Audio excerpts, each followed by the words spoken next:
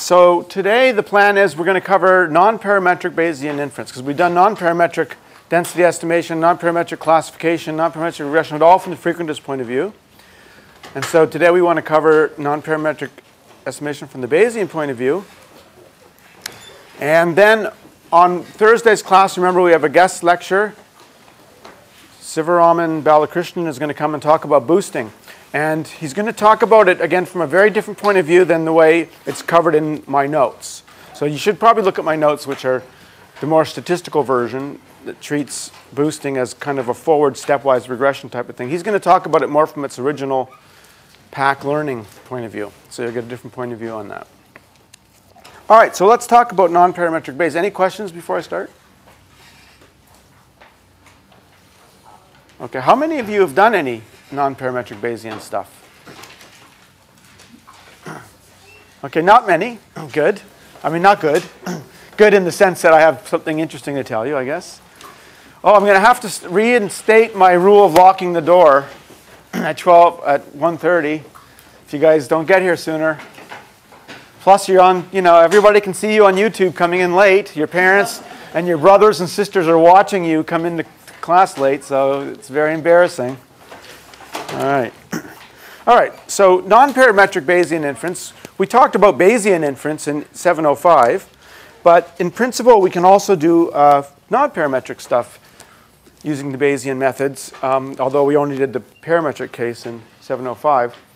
But we have to think about what does that mean, because when we talk about non-parametric inference, we're talking about doing inference for you know, a classifier or a regression function or a density function. These are not things that are that are characterized by finite set of parameters, which is why we call them non-parametric. So what does it mean to put a prior on a space of functions, like on a Sobolev space?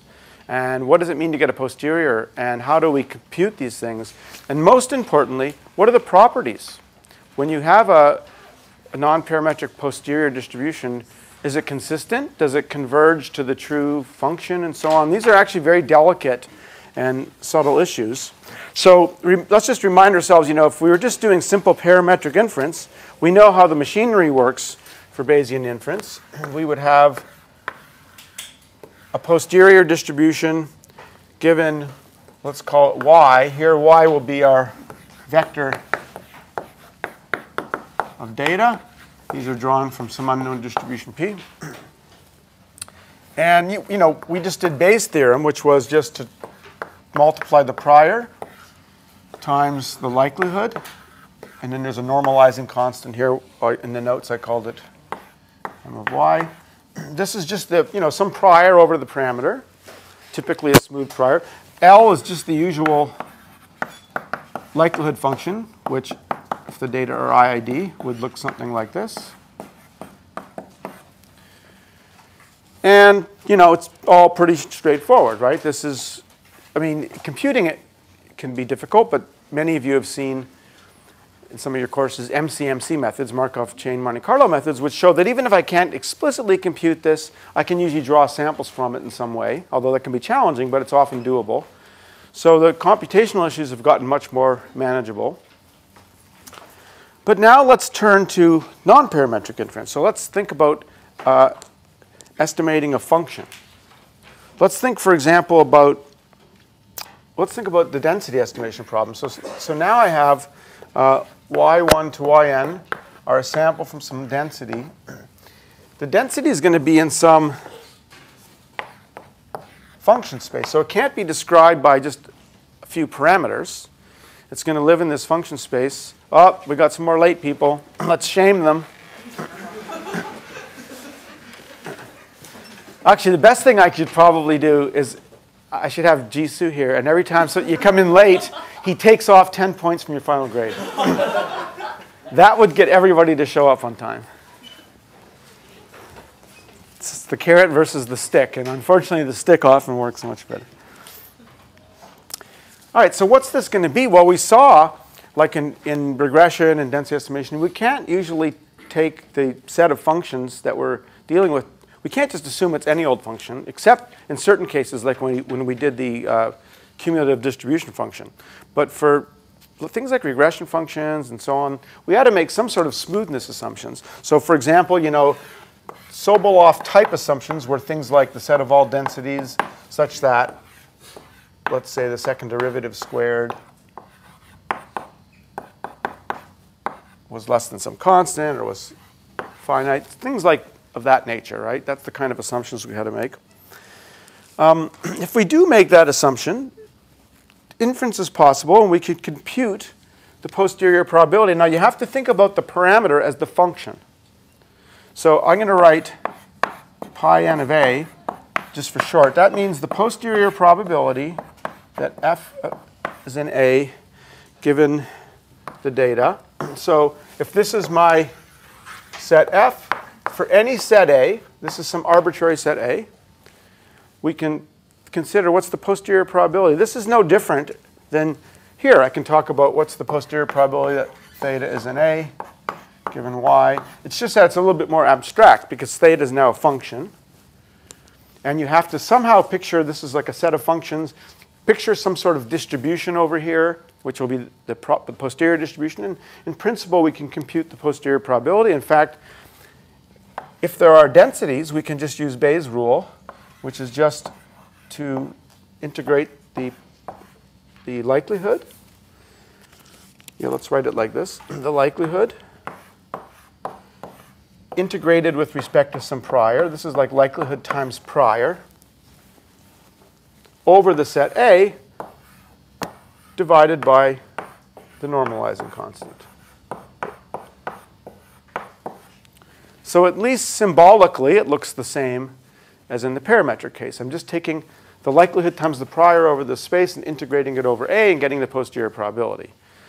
Now, there are some complications here. I've just used Bayes' rule. It turns out in non-parametric situation, you can't always use Bayes' rule. There's certain conditions you need for Bayes' rule. So, so this is a subtle point that the posterior distribution, the distribution of the function given the data, is always well defined.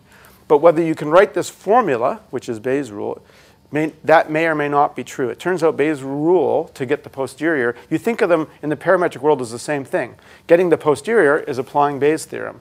It's not true in the non-parametric world. The posterior can perfectly well exist, even though you might not be able to use Bayes' rule.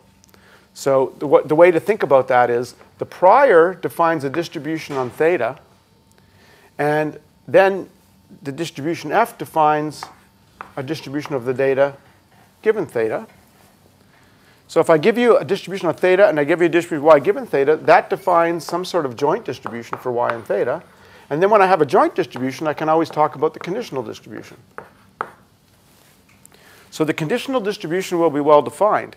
The mechanism to get there may or may not be Bayes' theorem. So that's a very subtle point. I don't want to uh, spend a lot of time on it. This is something like in a measured theoretic probability course, you would talk about this kind of thing. But luckily, we're going to see, even if we can't use Bayes' theorem, we can often still compute the posterior indirectly It's kind of surprising, maybe. I'm sorry, I, I'm trying to say you want to go on this, but I mean, isn't Bayes' theorem just like a immediate consequence of the definition of the conditional distribution? No, it's not. So the technical condition is that the set of things we're dealing with have to be dominated by something called a sigma finite measure. And you can have models where that's just simply not true. And so uh, the posterior condition, the posterior may be well defined, even though you can't write it as likelihood times prior. It, let's not worry too much about it. Okay, uh, it, we'll come back to this point later as needed. The reason, the only reason why I'm mentioning it is because we're going to compute posteriors. In fact, people often compute posteriors in cases where they can't write it as likelihood times prior. So um, we'll see that as we move along. We're going to talk about that in detail. That's a good question. How do we even construct a. So, yeah, I have this list of questions on page two, which is how do we construct a prior? Exactly the question you just asked me. How do we construct a prior on an infinite dimensional space? How do we compute the posterior? Or the way, another way to say it is typically we're not going to compute it. We're probably going to draw from the posterior because sometimes we can't compute it, but as long as we can draw random samples from something, we kind of know the distribution. So we're probably going to resort to random sampling. And then really what I want to focus on, because these other issues are talked a lot about in other courses, I want to talk about the third question. What are the properties of this posterior? Is it consistent? if I give you more and more data, so here's a, a, fundamental question. Suppose you know there's a true distribution in here. I'm, I'm actually giving you samples from this. You compute this posterior however we compute it. Is it concentrating around the true thing? And this is, this, this is a non-trivial question. So first I want to talk about constructing the priors, getting the posteriors, and then we'll talk about the theoretical properties. If we don't get to it all today, then I'm still going to have the guest lecture Thursday, and then we'll return to this on uh, next Tuesday. There's a lot of interesting subtle issues here. So first of all, uh, I'm only going to talk about three problems, but they're kind of, they span a wide range. So let me, let me list the three problems that we're going to consider in these notes. So we're going to say what the problem is that we're studying. Then we'll, I want to say what is the frequentist approach to this problem? And then what is the non-parametric Bayesian approach?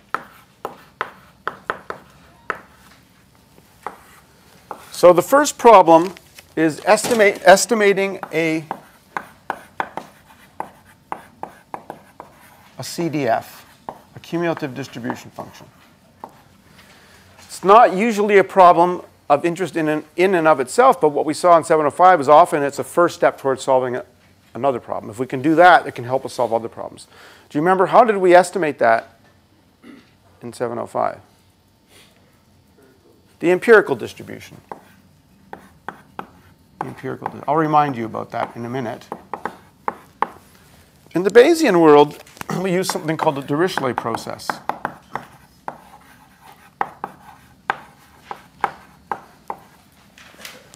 That'll be the analog. This was invented by um, Tom, uh, oh, blanking on his name. Tom, does anybody know? Who invented the Dirichlet process?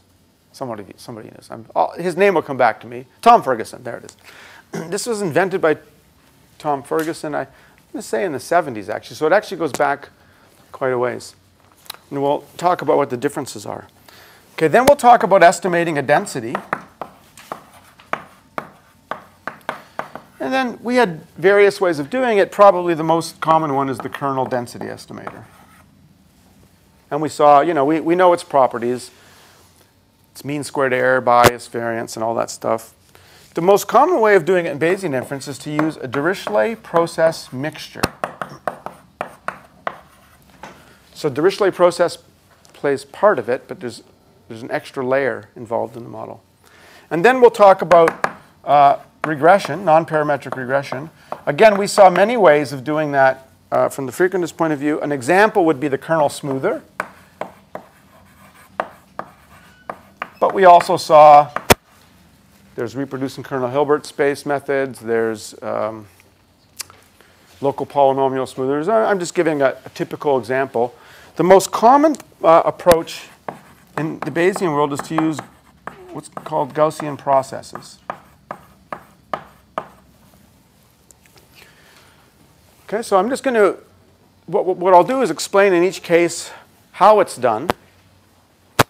And then at the end come back and talk about the properties. And the properties you're going to see are a little bit surprising. They're not, they're not so uh, immediate.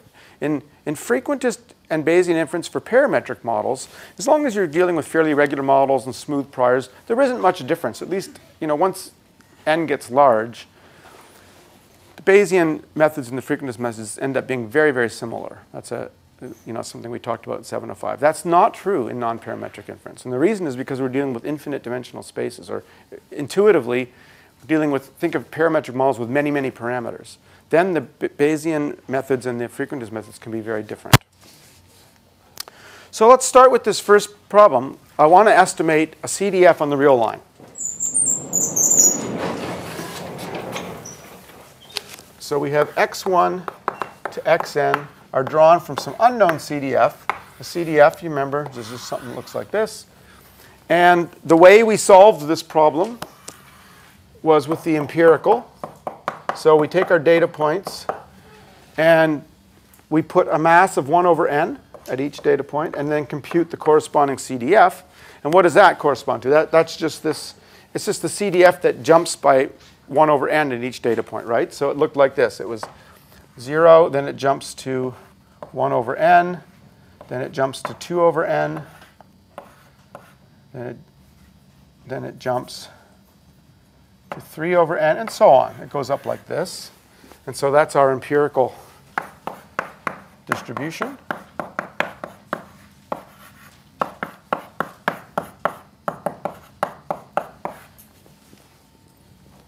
And we saw that um, there was some nice properties of this thing. Uh, remember, we had an inequality, kind of a, a VC type inequality. The particular one I'm going to write down is actually called the DKW inequality, different letters, but it's basically like a VC inequality, which says that the probability that the maximum difference between the estimated CDF and the true CDF is bigger than epsilon is less than or equal to 2e to the minus 2n epsilon squared. So that tells us that the probability that these differ anywhere is very, very small, goes, goes to zero very quickly, exponentially fast. Okay, so hopefully you remember that. So that's a justification for using the empirical distribution function. And um,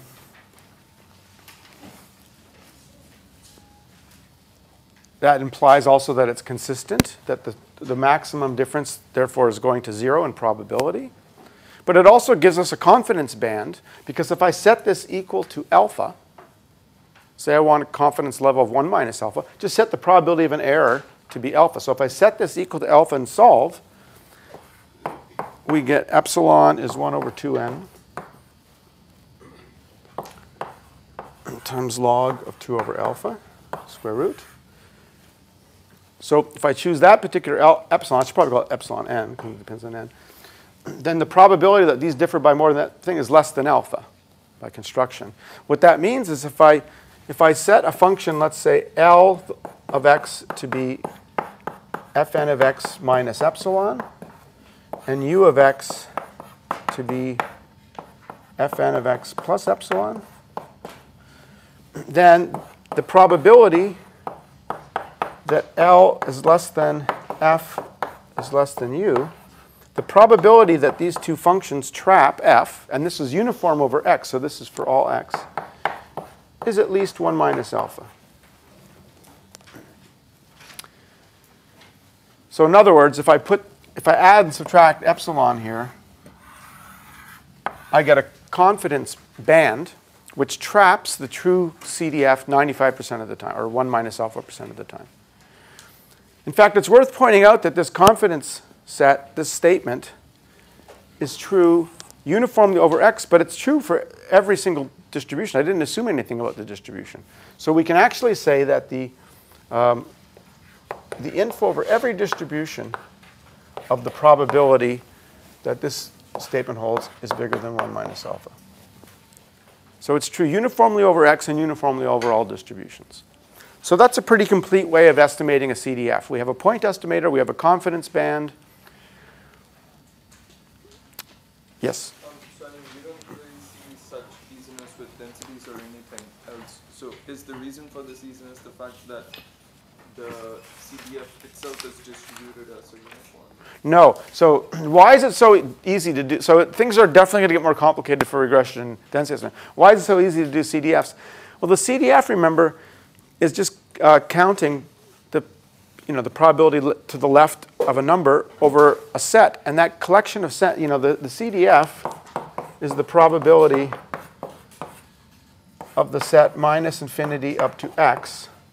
And that collection of sets has a finite VC dimension. That's what makes estimating a CDF easy. There's no connection when we get to density estimation regression with such simple quantities. It does work in multiple dimensions, but it's a different inequality, and the dimension comes into it.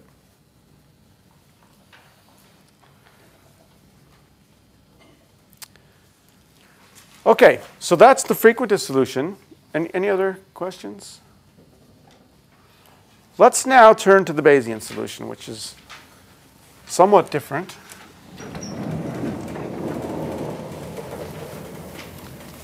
So the first question I have to address, and this was Tom Ferguson's uh, great insight, which is um, how do I put a prior on the space of all CDFs? So if I take F to be the set of all CDFs, that's a pretty big class of functions. How do I construct a prior? So here's the um, point of view we have to take. What does it mean to say I've constructed a prior? Let's go back to parametric inference.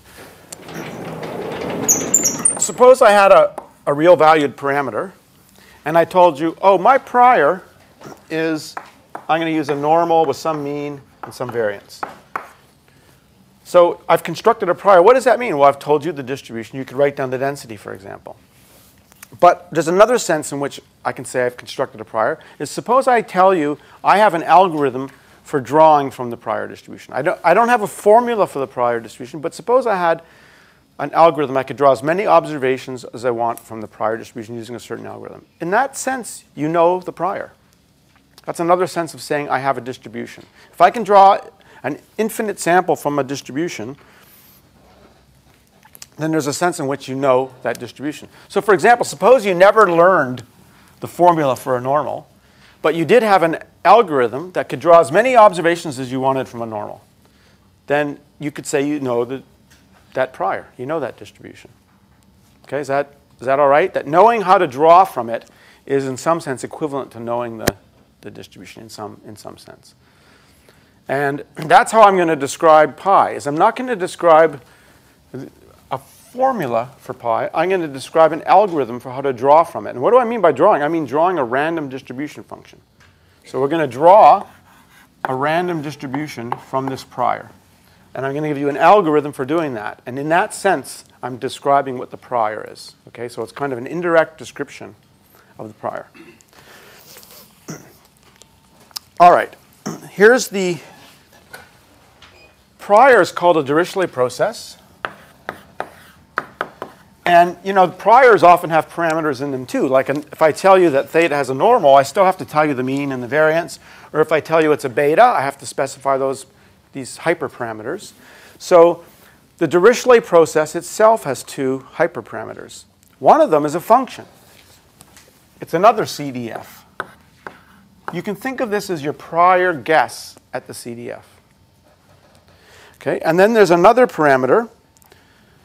Actually, in the notes, I'd put them in the other order. So there's a, an, this is a number alpha, and this is a function, a CDF. So to specify this prior, you must specify a CDF and a number. Yes? Is there an interpretation of this CDF like the mean of the prior? Yes, it's the mean of the prior. And this controls how concentrated the prior is around the mean. That's exactly right. Uh, sorry, what is this Dirichlet here? Is it a distribution? It's a distribution on the space of all distribution functions. I shouldn't call it Dirichlet, I should call it Dirichlet process. So it's not the Dirichlet distribution. There's a connection to that, but it's not that. Yes. Okay? So I'm now going to, to describe this distribution, which lives on the set of all distribution functions, I'm just going to tell you how to draw from it. How would I draw, just like here, if I told you, how would I draw a theta from this distribution? Well, I could give you an algorithm for doing it. How would I draw a random distribution from this Dirichlet process? Okay? And it's four steps. Okay? So first, I draw an infinite sequence, IID, from this base measure. Now, of course, you could never draw an infinite sequence, so just think of drawing a million. Okay? But, in, but theoretically, imagine drawing an infinite sequence. That's step one. Now, step two is to draw another infinite sequence of random variables from a beta distribution with parameters 1 and alpha. Let's remind ourselves, what does a beta distribution? In general, a beta distribution, say with parameters a and b, looks, has a density of the form x to the a minus 1, 1 minus x to the b minus 1. So in this case, this term disappears, and so this is like 1 minus x to the base. So I guess this looks like something like this. It's some density on 0, 1. And I draw an infinite sequence. Okay? Now the third step is called the stick breaking step. Stick breaking. People who work in this area like making up funny names. So there's the stick breaking process. There's something called the uh, Chinese restaurant process, the Indian buffet process. there's all these, you know. I didn't make up these names. What's the stick breaking process? Let me draw a picture of it and then I'll write the formula for it.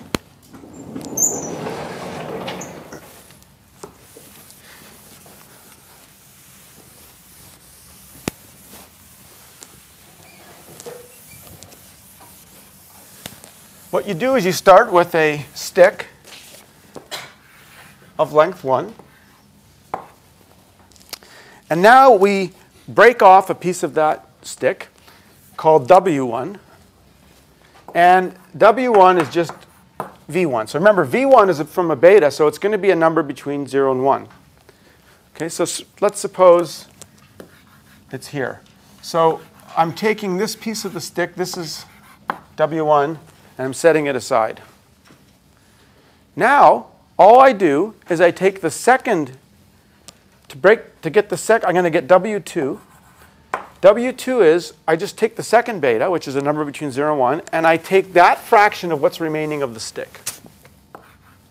I want to pull that piece off. So what is that? That's V2 times 1 minus V1. 1 minus V1 is the remaining part of the stick, and I take that fraction of it. so that's W2. And now I repeat. I take what's left, and my third one is V3 times, um, I guess it's going to be 1 minus V1, 1 minus V2, and so on. I just keep, as it implies, I keep breaking off pieces of the stick, and the amount I take each time, the fraction I take each time of the remaining stick is just given by those beta random variables. So that gives me a new set of random variables, W1, W2, W3. which, as you show in the homework, next homework, it adds up to 1. They add up to 1. They're non-negative numbers that add up to 1. That should make intuitive sense, right? Because I just keep breaking off pieces of this unit stick. Okay, the fourth step is finally to construct the CDF. And here's, let me draw a picture of it first.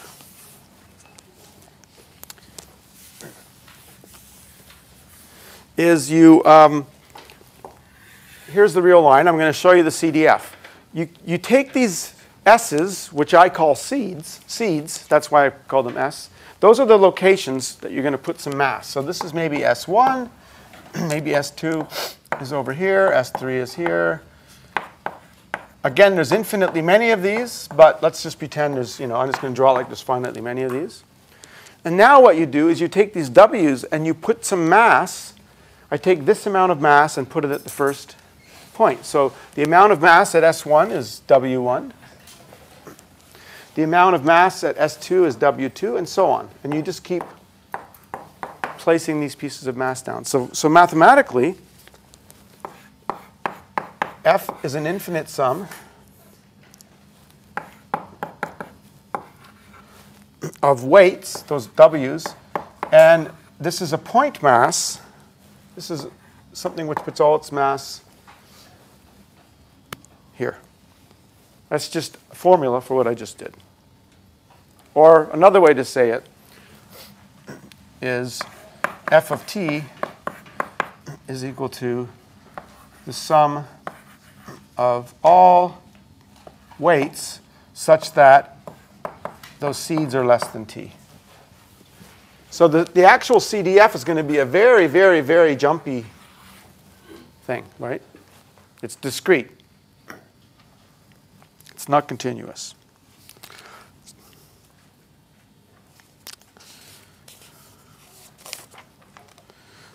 See if I have a picture. Somewhere uh, later on, you'll see a picture. We'll get to that later. I have some pictures of some of a Dirichlet. That's one draw from this prior. So let me first make sure, is the algorithm clear? Any questions about the algorithm? In practice, we're not going to draw infinitely many things, obviously, but apart from that, is the steps clear? Yes, output is a CDF, the. The very, the very last step is the CDF. That's the output. That constitutes a single draw from the prior. So now you know an algorithm to draw from this prior. So if you wanted to, you could draw, repeat this process, say, a thousand times and look at the CDFs you get out. And what are you looking at? You're looking at a thousand draws from your prior, so you're kind of looking at your prior. That's how you're looking at the prior distribution. If you wanted to say, what, is, what does this prior look like? You just draw a thousand random CDFs from your prior and plot them, and that, that gives you a feeling for where are they centered, how variable are they, and so on. Okay? Is this the only approach to define a prior like this? No, there's, there's, there's zillions of ways to define a prior on the space of CDS, but this is the most common approach because it's very tractable, as we'll see. Has all kinds of properties people like. But just like even for a real valued random variable, how many ways are there defining a prior? Well, there's infinite many ways, and it's the same with CDFs. But this is the, I would say, the most common one. There like. Oh yeah, I'm going to get to the another. I, by looking at the properties of this thing, I hope you'll we'll start to develop some intuition. Like, wh- where did this come from, right? Uh, and so, in particular, let's talk about the connection with the Dirichlet distribution. That's that was really so. The way I just defined it is not how it's defined in Tom Ferguson's paper, actually. Let's connect it the, to the way he did it. The reason why I like to describe it this way, this, this construction, I think, I think it's due to Sethuraman. I like to describe that first because it, I think it's good to have a concrete algorithm for how you would actually draw from the distribution. I think that somehow makes it more concrete. But to understand what are the properties of this prior, we go back to Ferguson's original idea. So suppose I drew one of these things, what's it going to look like typically? And one way to, to answer that question is to say, well, suppose you drew a random CDF from, the, from this prior. Suppose I decide I want to look at some of the properties of this. I'm going to arbitrarily divide the real line into a finite partition. So let's call those things um, what A1 a2 up to AK. Okay, I've just arbitrarily partitioned the real line into a finite number of sets. Now, you've just handed me your random distribution function, which was drawn from your prior. I can use that distribution function and say, how much probability does your distribution function put in each of these cells? Because you, you have, I have a CDF, and I can just compute the amount of mass. In other words, I'm really just adding up those weights within each of these cells. So let's call that, um, what am I going to get? I'm going to get a vector, right? The, the amount of probability your randomly drawn F puts here is a number, and I'm going to do that. So I'm going to get a vector. I'm just going to call that F, okay, one.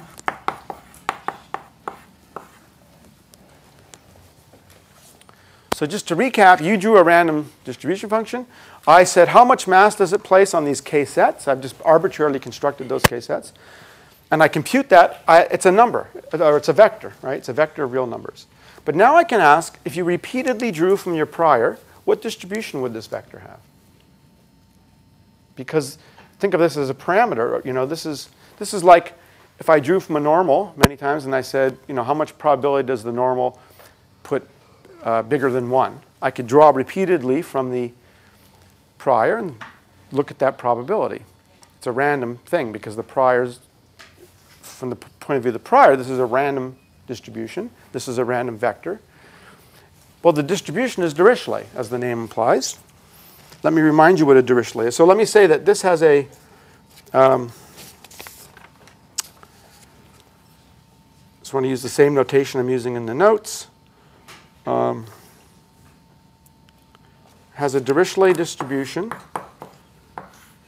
with parameter alpha, and uh, I'm running out of symbols here.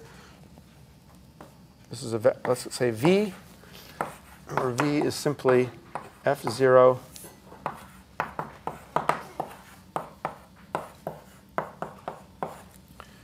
where, what's a Dirichlet distribution? It's a density of the form. So this is a, because this is a vector now, it has a den, it's just a regular old density. It, it has a density. Let me call this P. So the density for P is simply proportional to Pj to the alpha Vj minus 1, where this is the vector b. So what's a Dirichlet distribution, first of all? A Dirichlet distribution, if I only had two things, is a beta distribution. So the Dirichlet is just a multivariate generalization of the beta distribution. It's just, it's just a, um, a distribution on vectors that sum to 1. So if there was only two categories, this would just be a beta distribution. So that's just a generalization of the beta distribution. I think most of you have seen a Dirichlet distribution before. Um, so what I'm saying is, if instead of looking at the whole function, which is some infinite dimensional creature, I just compute the probability content of a finite number of sets, that's now just a vector. And if I repeatedly drew, in fact, that vector lives on the simplex. The simplex, right, is a set of vectors that have to sum to 1. So that if I draw a simplex like this, every time I draw from your prior, I get an F, I compute this probability, I get a point on the simplex. If I were to repeatedly draw from the prior, I get a bunch of points. Eventually, I get a distribution. That distribution has a density, and the density is a Dirichlet distribution. That's, that's what it is. And that's true no matter how I draw the partition. For any finite partition, the induced distribution I would get when you draw this F randomly is a Dirichlet distribution. That's why it's called a Dirichlet process. This is a common thing in, in the theory of probability is when you have a probability measure defined on a complicated space, you sometimes you define it in terms of how it behaves on finite things to describe its behavior. We're going to see the same thing when we talk about Gaussian processes. So um, this is actually how, how Ferguson defined the Dirichlet process. He said, I'm going to say a distribution has a Dirichlet process, is a Dirichlet process if whenever I draw from it randomly and evaluate it on a finite partition, it has this Dirichlet distribution. Then he had to show that there exist such distributions. The, the construction we did is kind of a, is a explicit construction, and one has, there's a theorem that one has to prove to show that the way I define things does actually give you this Dirichlet process, but it's true, that it's, it's a fact. Okay, so there's two different ways to think about this Dirichlet process. Either in terms of this algorithm for generating from the distribution, or it's just some way of drawing a random distribution function which has the property that when you look at some finite resolution, you get a Dirichlet distribution. I hope that helps somewhat with the intuition. I know these are abstract things, so uh, it can be hard to picture what's going on, but Why did we look at a different process? why are we using a Dirichlet process? No, no, if we draw f from the process, we will get a distribution. Uh, Why is this true? Oh, well, that's a, it's a theorem. Uh, it's actually a matter of definition. The, the theorem is that this construction does have this property. So there's something to prove there. It's not obvious. What values do, can alpha take on? Is it greater than zero? Greater than zero. Yeah, alpha is any positive number. What is the relationship between Dirichlet process and Gaussian process? Uh, they're quite different. So Gaussian processes are defined on certain classes of functions. The Dirichlet process is defined on CDFs.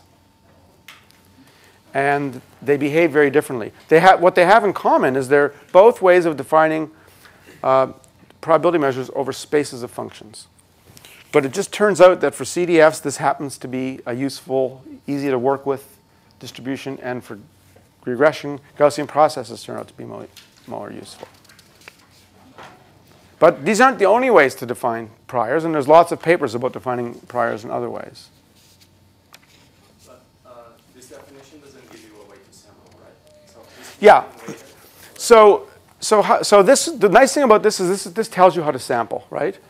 This, in some sense, doesn't give you a way to sample, but it sort of does because you could always divide the real line into some, you know, pretty small, you know, divide it in small pieces, and then just sample a Dirichlet and say, well, okay, what's going on in between, I can't say much about, but I get some sort of approximate thing. So you can think of it almost like a way to draw from the distribution. But that's a more precise statement about that, yeah.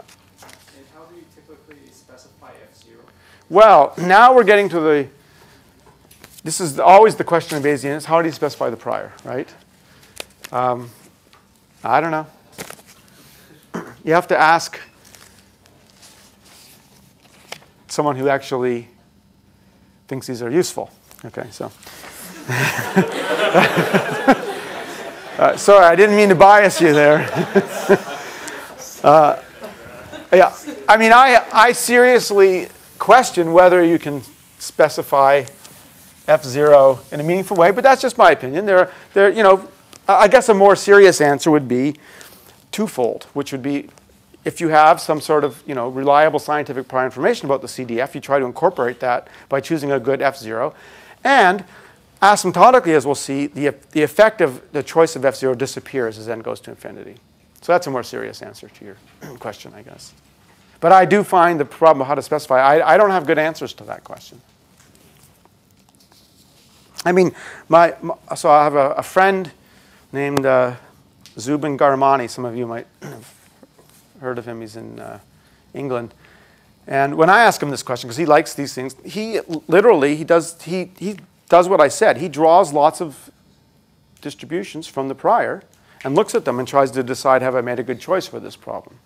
So he uses random sampling from the prior to try to assess whether he's made good choices at f0 and alpha.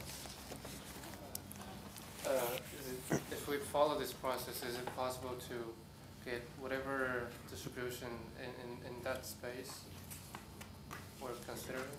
Yes, this, every Dirichlet process is generated this way.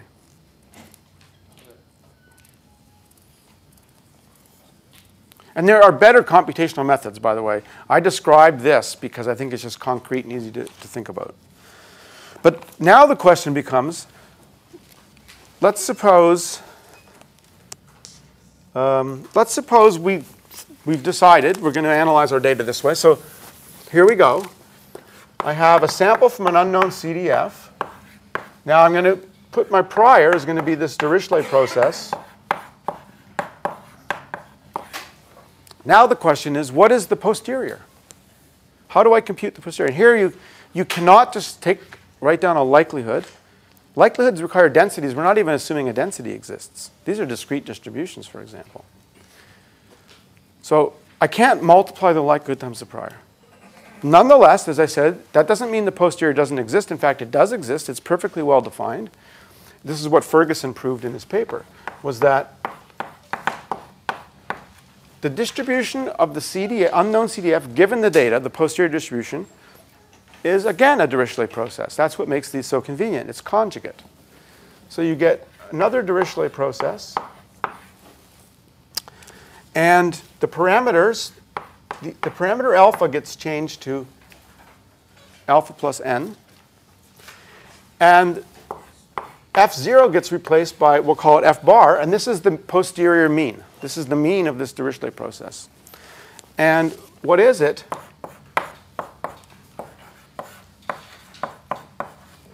It's n over n plus alpha times the empirical distribution function plus alpha over n plus alpha times our prior guess. So this is kind of a, a very intuitive thing. What we're doing is, this looks a lot like, remember the normal, normal prior and normal likelihood, the posterior is normal. And the posterior mean was like a convex combination of the MLE and the prior mean. And the same thing is happening here. We're getting the empirical distribution, a combination of the empirical distribution and our prior guess. So that's something that's kind of satisfying. That's pretty neat. And you can see that when n gets large, this part starts to disappear and the posterior mean gets closer and closer to the empirical distribution function. And now, if I asked you, okay, how do I deal with this posterior distribution? How do I look at, look at the posterior? How do I find a 95% confidence, Bayesian confidence band? No problem. You just draw from the posterior many times using the same algorithm. The only thing that's changed is alpha was replaced by alpha plus n, f0 was replaced by f bar. But you use the same algorithm and you can draw many times, let's say capital B times, from the posterior. So now you have, say, 10,000 randomly drawn CDFs from the posterior distribution. So you can plot them. You can look at the you can look at the, what the posterior looks like in the sense of you can see what the posterior draws look like. You could also find a 95% Bayesian confidence band by finding two functions that trap 95% of the functions. So you could find an L and a U numerically so that the probability from the Bayesian point of view that that L and U trap F given the data is, say, 1 minus alpha. But remember, this is a very different interpretation than the confidence band, right? This is saying, from the Bayesian point of view, the data are fixed. It's the CDF, our unknown, which is always treated as the random quantity. This is our degree of belief that F is trapped between L and U given Y1 to Yn. It doesn't mean in the frequentist sense that if I repeated the experiment over, and over that you would trap the true F 95% of the time. Right? That's the usual difference we talked about in 705 between Bayesian interpretation, which is about degrees of belief, and the frequentist interpretation, which is about coverage and long-run frequencies. So I here's an example in figure 3 on page 7. Um, what, you, what I'm showing you is I did a very small example, I think 25 observations.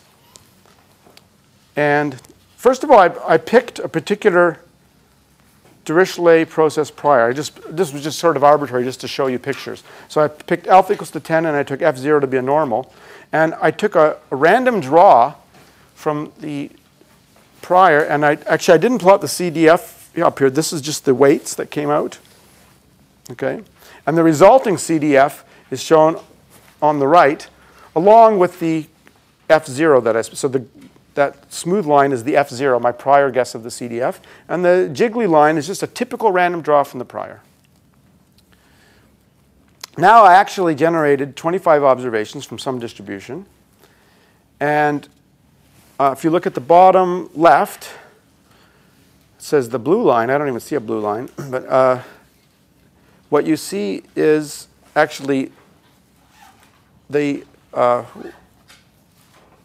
the bottom wait what is it the the bottom left plot shows a few draws from the posterior.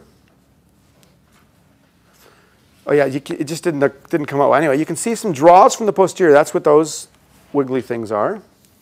There's the posterior mean that didn't show up very well there for some reason, and and also there's one other line which is the true CDF that I actually drew from. And then in the bottom right plot, I'm showing you, it's kind of hard to see it, but I've got the true CDF, the empirical CDF, the frequentist confidence band, and then the Bayesian posterior mean. It's quite a bit off in this case. Okay, so, yes?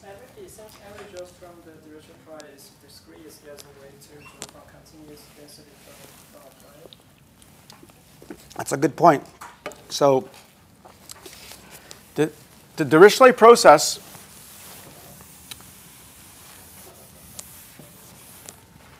the CDFs are always discrete. But people don't worry about that too much because it turns out if I take the set of CDFs, and while it's true that every time I draw a random CDF, say this one, that's a CDF, it's discrete, and it's, another draw would be discrete.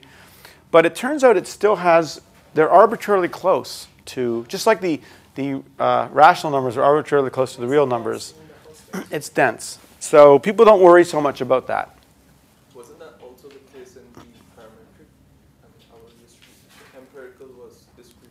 Yeah, but he's talking about the prior itself seems to always give you discrete distributions. And if you believe the true distribution is continuous, maybe you don't want to use a prior that gives you discrete. But, it, but that, because it's dense, people don't worry about that. There are ways to get continuous things, though. We're going to use that when we do density estimation. What is the output of the Bayes estimator? Well, you get the posterior mean. Uh, it- posterior- how- how do you get the posterior? Oh, that was F bar. Where did I put that? This is the posterior. I lost F bar. I erased it. But remember, I wrote down F bar. That was the posterior mean. That's the expected value of F given the data. And you have the whole posterior in the sense that you know how to draw random samples from the posterior. So you can construct a, a Bayesian confidence band. You can get the posterior mean. You have all the information you want. What do you mean by dense is that from the like prior usual like uh, large number of like samples from the Now, what I mean is that the support of the distribution, which is where this prior puts all its mass, that support is dense in the space of all distributions. Does, does it have anything to do with the number of data that you have sampled? No, no, this is just a prop. This has nothing to do with data. This is just a property of the Dirichlet process. Your F naught need to be continuous, F naught does not have to be continuous. but to get a dense support everywhere. Oh, um, oh, that, that, yeah, actually, I think that's true. You're right. So I think I have to restate it. If F0, that sounds right. If F0 is fully supported on the real line, then I think the, the support of the Dirichlet process is the set of all distributions. Uh, How can we define expectation on function value random variable? Uh, this is defined pointwise, so I can define it this way.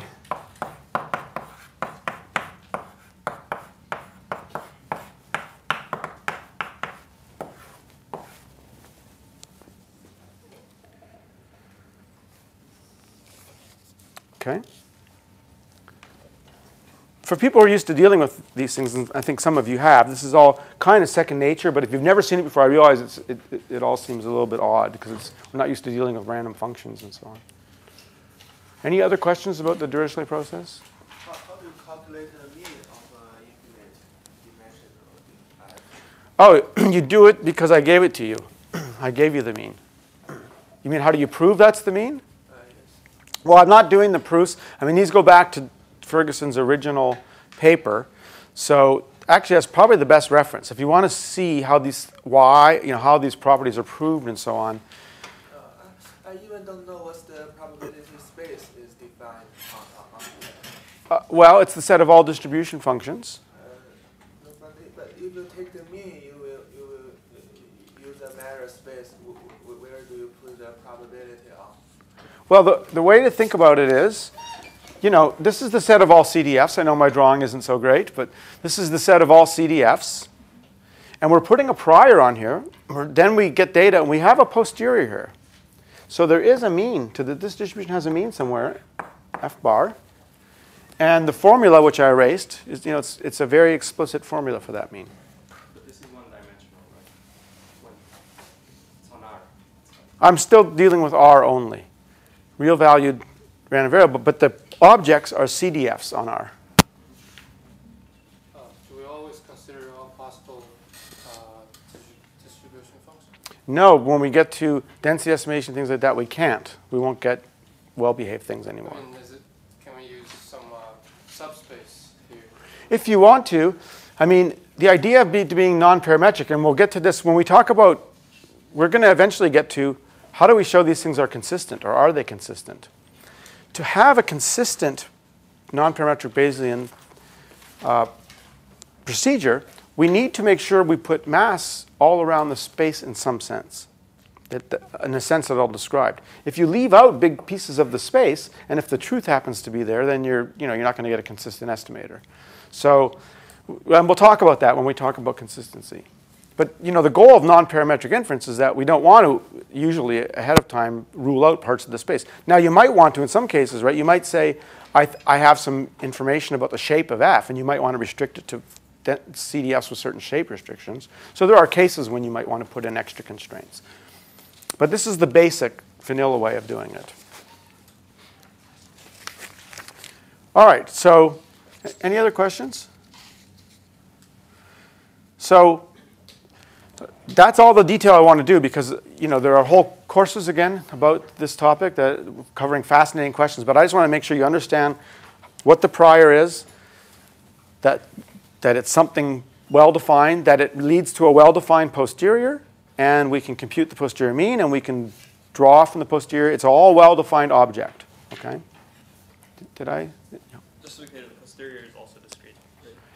Yeah, the posterior, if you draw from the posterior, you will get a discrete distribution with probability 1. That's correct.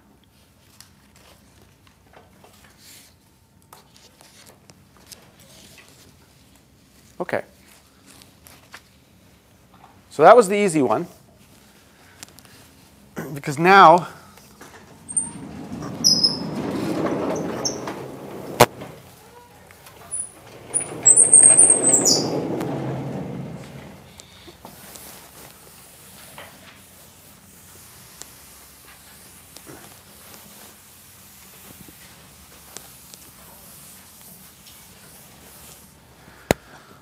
now we're going to talk about density estimation.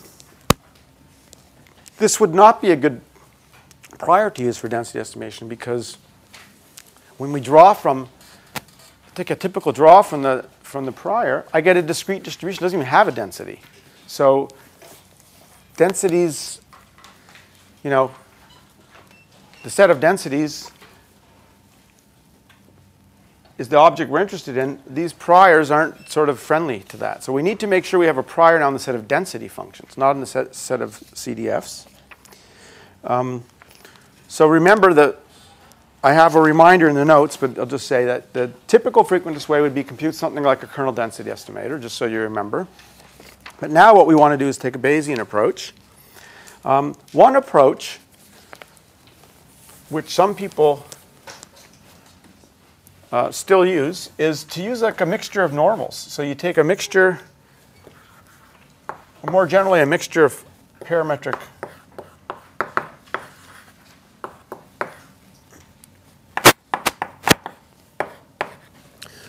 So you would have like a weighted mixture. These are going, these are parameters. They're numbers that sum to one, and they're treated as parameters. These are parameters. So like in the normal case, theta j is actually a mean and a variance. But also, the number of things in the mixture is also a parameter. That's what makes it non-parametric. If I fixed k, it's a parametric model. But if I let k have a prior and let it be any number, then it becomes more like a non-parametric model. And there's quite a lot of literature about using models like this. You have to put a prior on this, a prior on these things, and a prior on these things. There's sampling methods for computing the posterior. Um, these were popular for a while, but then they kind of uh, fell out of favor, I would say, and replaced by what are called, what we're going to talk about, which is a, a Dirichlet process mixture. Intuitively, it's going to just replace this with an infinite mixture. Instead of having to specify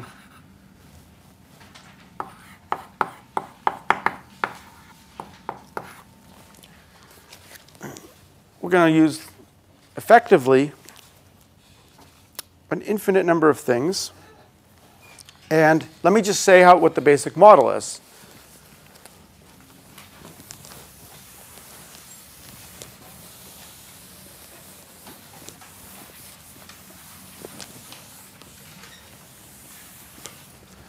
Okay, so I'm going to describe the prior again in the same way. Well, I want to describe, in fact, how you would draw from the prior and how you would then draw an observation from the resulting distribution. I'm going to give a complete description of the joint dis- distribution, which, which is called a, which is called a Dirichlet process mixture. But before I do that, the basic idea is that when you have a mixture, these things are smooth. This would be like normals. But the centers of the normals, just think, that's, that's just say like if you have a mixture of four normals, and say these are the means, there's just four numbers there, right? You can think of those thetas, if we're thinking in a Bayesian way, they're random draws from something. But it's a discrete thing, right? The, the centers are like a discrete distribution. That's exactly what the Dirichlet process gives us, discrete things. So we're going to use the Dirichlet process not to think about uh, at the fundamental level of the distribution, but at a higher level for drawing the centers of the things that we're mixing. So it's going to look like this. Let me describe the whole joint distribution. And we imagine we're going to draw a random distribution from a Dirichlet process. So there's two hyperparameters, alpha and f0. Okay. Now in practice, people usually put another put a prior on this, hyperprior, and this f0 is usually taken to be something like a normal, which itself has parameters in it, which are itself giving priors. So there's lots and lots of layers in practice that are used here. But just to keep it simple, imagine that the first part of the prior is I'm going to draw a random distribution from a Dirichlet process. Now what I'm going to do is draw theta 1 to theta n, n numbers, from this distribution. We'll write it this way.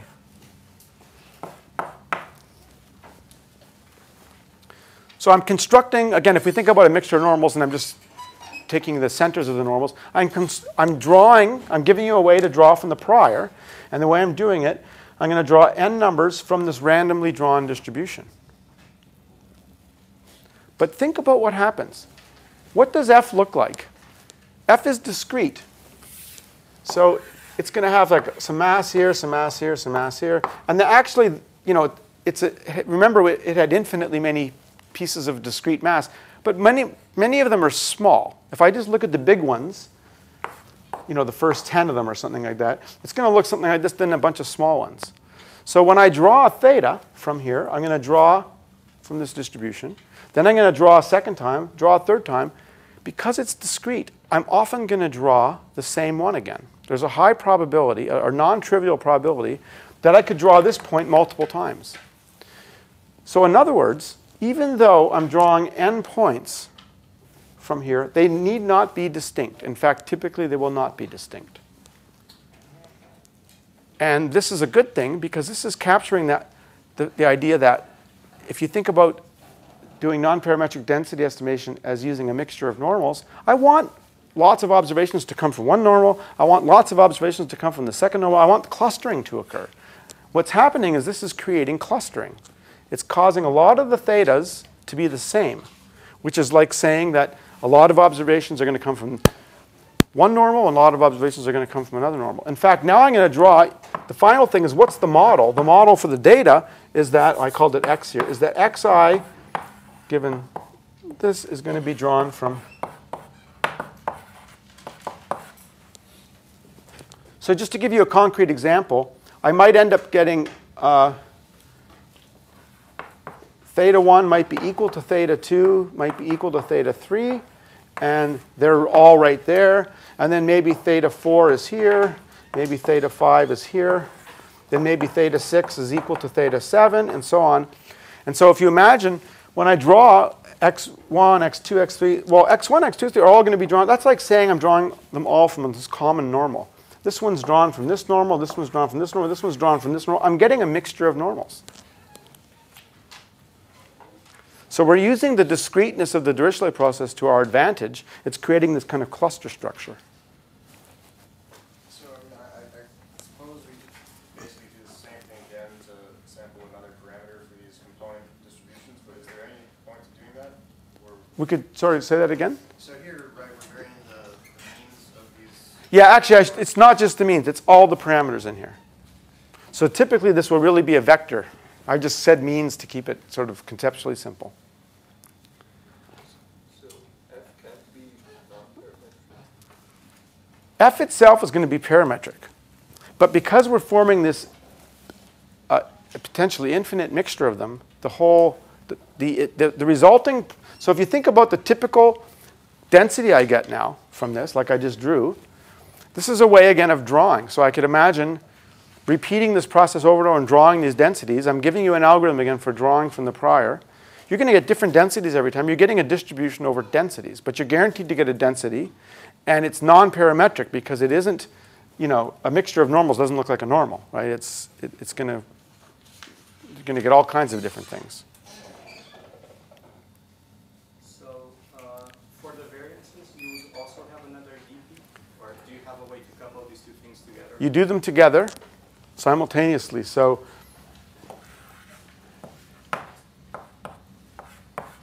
this is going to look like this. Um, well, actually, let me think about that. Do people usually do them together or separately? Uh, I think you can do it both ways. I've kind of forgotten what the common, most common method is. But you do need to have something going on for all the parameters. But the DP's over R, so how can you get? Yeah, so that's why I'm wondering whether, let me look at the, I think I have a specific example.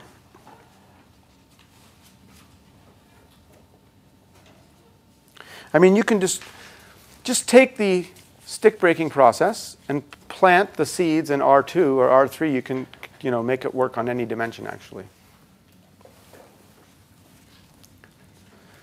So this is a little bit, I know it seems a little bit baroque, but it's a well-defined process again. And so we can, we can talk about the prior kind of indirectly, but think about drawing random densities this way, and this is describing the prior. Now, for the posterior, again, we can't write it down in closed form, but there are methods for doing MCMC. That is, for drawing random densities, as many random densities as you want, from the posterior distribution. It's kind of complicated now. It's not as simple as the Dirichlet case. Okay, there's a lot of steps involved, and this is not a course in MCMC, so I'm not going to go through all the uh, details. I have a little bit about it in the notes, but really, uh, I don't want to cover that in detail. You just trust me that just like in the Dirichlet process case, we don't write down the posterior, we just sample from the posterior. And here you sample from the posterior, and it's, more, it's just a more complicated sampling process. So what would you get at the end? Well, you could, you could draw many samples from the posterior. So what are you going to get? You're going to get, you draw the first time, you're going to get some density. Draw a second time, you're going to get a, a different density. Draw a third time, you get another density. So you're going to get, say, many, let's say 10,000 draws from the posterior. You can get a point estimate by just averaging these. That would be the posterior mean. You can get a confidence band by just counting, you know, uh, putting a band that contains 95%. So although it's not quite direct in the sense we can't write down simple formulas like for a kernel density estimator, the procedure is still perfectly well defined. We have a procedure for defining the prior, and we have a, import, most importantly, we can draw from the corresponding posterior distribution. Now, the real ones are quite complicated because, as I said, the truth is people don't want to specify an alpha. That they feel too locked in. So they put a prior on alpha. That prior is something like a gamma distribution, which itself has parameters that you have to pick. And then F0 typically is specified to be, oh, you know, maybe they'll guess some sort of normal as a, but then you have to put a prior on this and a prior on this. So there's many levels. It's a multi-level model, which makes, there's a lot of parameters to specify to specify the prior, and there's a lot of tricks to use to do the posterior sampling. It's getting a little bit more complicated. But so that I don't want you to lose the conceptual framework, which is really, it's the same as before, is our, our parameter space is now just, instead of the, I know my drawings all look the same, so it looks like the set of CDFs, but this is actually the set of all density functions.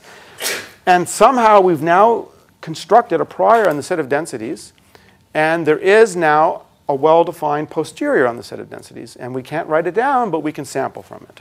So it's the same framework.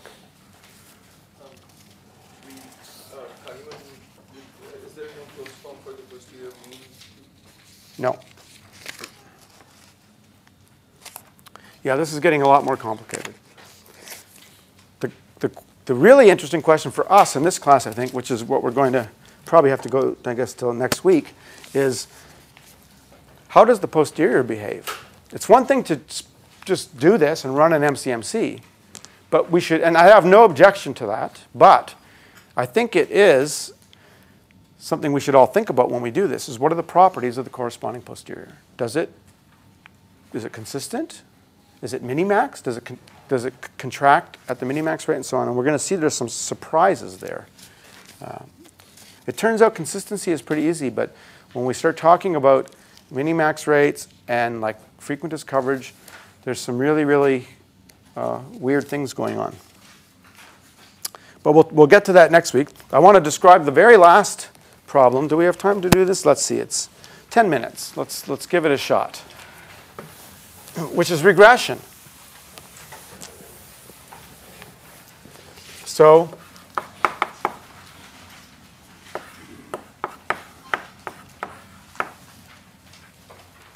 typically what's done in non-parametric uh, Bayesian inference for the regression function. So what did we do for frequentist?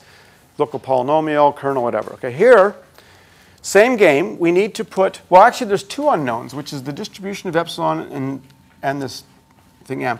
People just typically assume this is normal. So that solves that problem.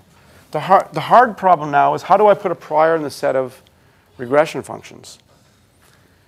So again, we're going to describe the prior that people typically use by describing its properties. Just like I said, a Dirichlet process has the property that on a finite partition it has a Dirichlet distribution.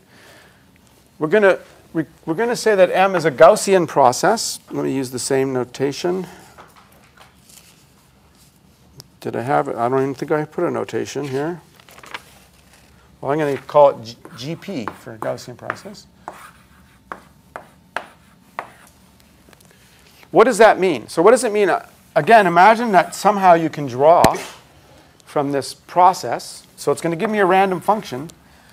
What does it mean to say that this has a Gaussian process? All it means is that if you pick any finite set of points, let's say here, here, here, and here, and I look at these values, so I look at the value of the function here, here, here, here, so that gives me a vector, th that that has to have a Gaussian distribution.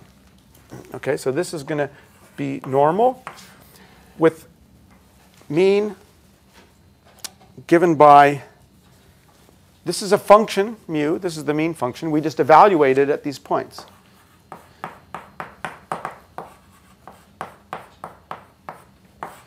And this is a function of two variables, essentially a kernel. But if I evaluate it at this finite set of points, I get a matrix. So to say that something is a Gaussian process only means I have a random function with the property that if I were to evaluate it at any finite set of points, the resulting vector would have a normal distribution. In fact, you can think of how to simulate from this intuitively is just pick a fine grid of points and just now you've discretized the problem, you've turned it into a finite problem and just draw a normal random vector. And that's going to approximate this random function. So it's just like a high dimensional normal, basically. So you mean the vector mx1 to mxk is uh, following a multivariate Gaussian distribution? Correct. We sample different uh, functions m. For a, this is for if I draw a random m and evaluate it, and now repeat this, the resulting distribution is a Gaussian. Yeah, yeah. And what is the covariance operator? Well, so this covariance operator is just a function of two things, and when you evaluate it on any finite set, you get a covariance matrix. But this is what you have to specify, and so when we do kernel regression, we have to specify a bandwidth to control the smoothness. Here you have to specify this whole function. So there's a bit more to specify. That's another thing I should have said. You know, in the, in the density estimation case, we only had to specify a bandwidth. In the Bayesian approach, there's, there's about 73 hyperparameters you have to specify or something. I don't know how to pick them. You know. Maybe people who are good at doing that know how to pick them, I, but I don't know how to pick them. So same here. We have to specify, it seems, a bit more. We have to, th because this, this covariance thing controls the smoothness of the function. How? If I make things if I make things that are close together have very high correlation, you're going to tend to get smooth functions out. But if I make them very uncorrelated, they're going to, you're going to get bumpier things out. Typically, people pick covariance kernels, as these are called, that are parameterized by certain parameters, and then you put priors on those parameters. That's how it's usually done in practice. And we're running out of time, but I just say that it's a straightforward calculation now to show that if I have a normal likelihood, like a normal error, I put a normal process on here, the posterior is normal. I mean, you can just think of doing this on a finite, pick any finite set of points. It's the normal normal calculation. And so M, given the data, the posterior, is also a Gaussian process. And here's the punchline. If I compute the mean of that Gaussian process, I get And the calculations are here on page 11. I just want to give you the final answer that the, the posterior mean, given the data, here's what it turns out to be. It's that this is the kernel matrix.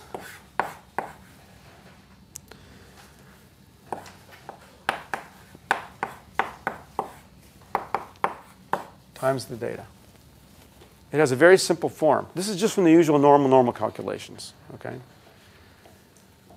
So why is the difference between the regression case and density estimation? Because if I did this for density estimate, I'd have a problem. I don't get densities out. This is easier because the regression function can be any function, but densities have to be non-negative and, and integrate to 1. So, But- for the parametric like form, it also uh, both use the kernel smoothers. So what's the difference between the non-parametric case and parametric case? for, for density estimation? Yeah, for dens uh, for density estimation and regressions, if we are using the parametric estimation, we can both use the kernel smoother rate, but they are uniform in that case. But in the non-parametric work, for one thing we use like the Gaussian process, and for the other thing we use like process. So why the difference occurs here? Why do we use different prior structures? Yeah.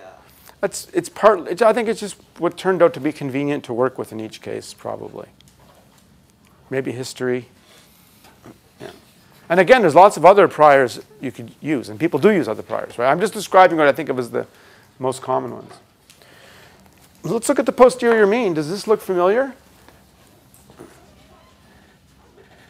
That's a linear estimator. Remember we saw local polynomial, blah, blah, blah, all the things often turned out to be something, you know, a matrix times y. Wh- Where's the data capital X and small x? They're in the kernel.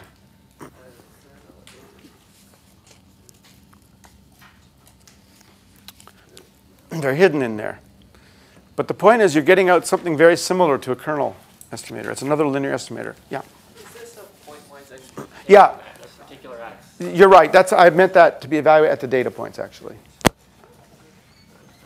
but the kernel, you mean the, you put the data point here. Right. This is all sorry, I was a bit uh, quick about this. Small x, where is the, the, the- Yeah, this is the kernel evaluated at the observed x's. where is the, where, where, where is the, the small, small x up here? Uh, the- You mean you want, you want this to be the result of the mx? Yeah, just to be clear, I'm actually only telling you what the mean of this is evaluated at the actual x's for simplicity. Okay? And this kernel is only evaluated, this covariance thing is a covariance matrix evaluated at, at the observed x's. Everything here is evaluated at the data, just to get this expression.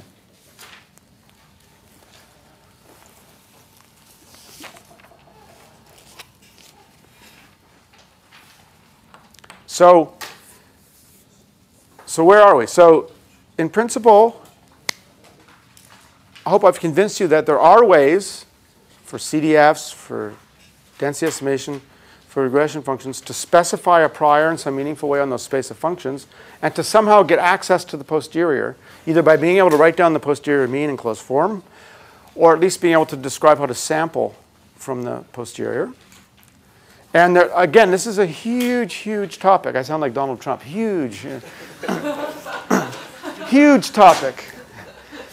And, and uh, I've been watching too many uh, political shows.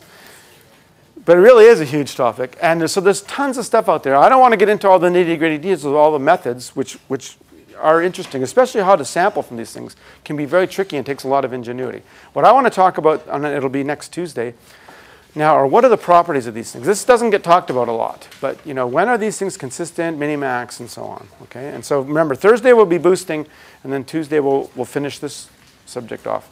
Any questions before we break? Yes?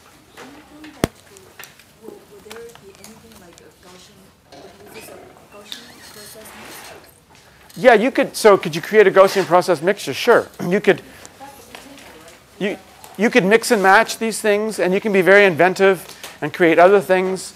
Um, it's very problem specific, though, right? I mean, it, usually people create different versions of these things or different priors to deal with a particular problem. Document classification is a perfect example where people deal with very complicated mixtures of Dirichlet's, for example, to deal with word counts and things like that. But yeah, you can create lots of variations of these things. All right, so try to be on time for Sivaraman's lecture because he's a lot meaner than me.